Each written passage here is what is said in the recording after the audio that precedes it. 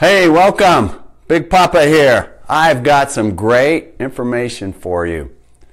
Just discovered it because I've been researching this and man, I am so excited to share it with you. A lot of people ask me about intermittent fasting.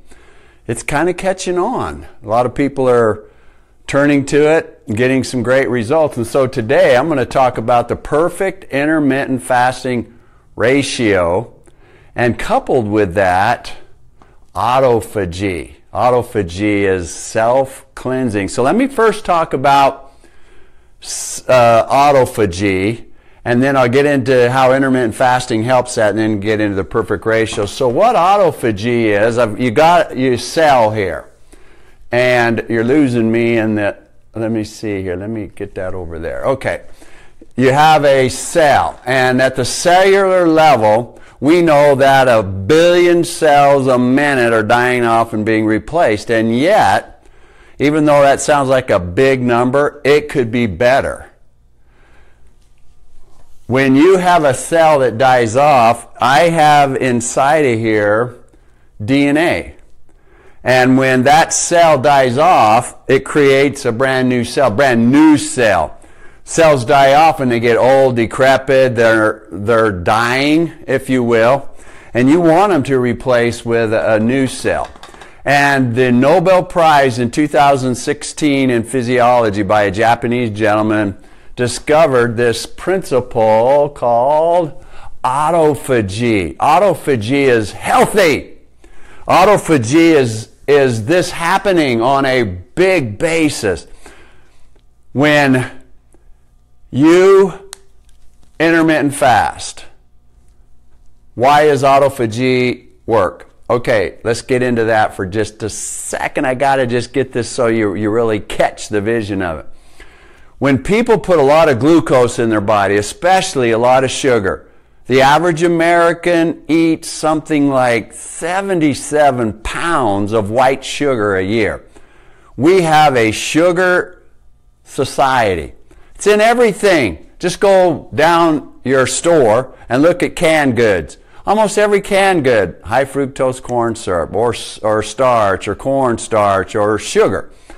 And when the body has a lot of that in us, the body has all this extra fuel, if you will. And when your cells over here get old and decrepit, and you got all this sugar in your body, they don't die off. Because in autophagy, what happens is when this cell dies off and you create a new cell, this old dead cell through the liver creates more fuel. And as you intermittent fast, insulin levels drop, fat burning takes place. That's why I got it here. Fat burning takes place. And who doesn't need to lose some weight? 80% of Americans are overweight, almost 40% are obese. and the key to getting rid of weight is intermittent fasting using these ratios. And, it's, and in this discovery of autophagy, when you intermittent fast, when you drop insulin levels, when you get rid of all that extra glucose in your body, then your body needs its own fuel. It's going to burn fat and it's going to kill off old dying cells that for now are staying inside your body, making you, oh, I don't feel good. I got achy joints. I can't sleep at night. All, all of those elements that come with generally correlated to extra weight. So when you intermittent fast, autophagy is on steroids. Now here's the beauty of autophagy. And I want to get into this because I'm going to put a plug out for a, a great product. Seriously, you can do all your own research on it. There's only one of the kind. You have DNA inside of those cells, and at the tips of those DNA strands is called a telomere. And as this process has happened over and over and over and over and over again from the time you were a little baby until your age, those tips on the telomeres get shorter. And as William H. Andrew, PhD, who discovered a lot of the science behind telomeres, when your, when your telomeres get short, bad things happen. And so in the process, intermittent fasting, doing this autophagy, you want that DNA to be healthy. One way to do that is to get rid of oxidative stress. One way to do that is to eat healthy. One way to do that is, is to eat right, to, to sleep. The other thing here is I'm going to put a plug in for Isagenix Product B. It's the only product on the market. I've been using it for like six, seven years since it first came out. And it supports telomere health. So as you intermittent fast, start losing weight, start to feel better, and you're, you're replicating all these cells, you want that new cell to be as strong as it can. It's the fountain of youth. If you feed it, just as I said, and even with product B, it's going to work. Now, let me get into the intermittent fasting ratio. I've got three clocks here. They're 24 hour clocks. I got 24 up here. I've got 6, 12, and 6 p.m. And so intermittent fasting in the 60s, most Americans, most Americans only ate three meals a day. They'd eat a breakfast, lunch, and dinner, and they didn't eat in between. And so, but now, most Americans are taught through the carbohydrate companies to snack. We are a snacking society. In fact, the number of calories uh, increase since the 60s, over 250 calories a day increase. Is there any reason to not believe that those extra 250 calories has led to an obesity epidemic in our country? Part of it's because our eating cycle. If you could just drop down to three meals a day, no snacking, you're going to be fasting, let's say you ate at 6 a.m. to noon, six hours. 12 to 6 p.m., six hours. 6 p.m. to 6 a.m., 12 hours. The proper ratio is 18 to 24 hours intermittent fasting. Three meals a day. The next goal after you get to the three meals a day is to shorten the span between your breakfast and and you call it anything you want, that first meal of the day to the last meal of the day. So if you can shorten that span, maybe you extend breakfast longer. That's for me. In fact, ask yourself this question when you get up in the morning. Ask yourself, am I really hungry?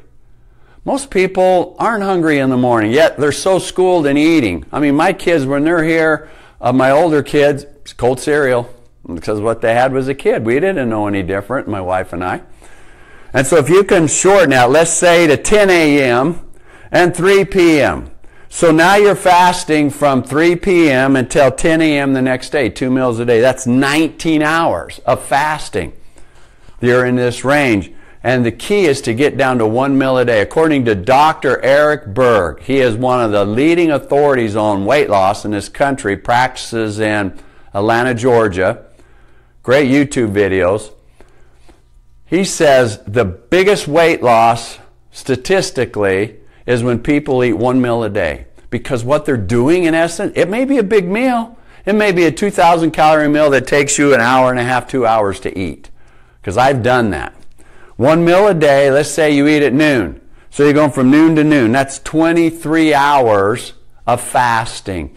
That is way into this ratio. And that's the key to intermittent fasting is don't eat, drink water, get your minerals, vitamins, put product B in you because autophagy is going to kick in and you're going to be burning off all those old crappy cells, self-cleaning through autophagy, spurred by intermittent fasting. And so you want weight loss and I don't care what product you get on or don't get on, if you just eat one meal a day, and do the following. Oh, I didn't put my list down, but here's the list. High intensity interval training. HIIT.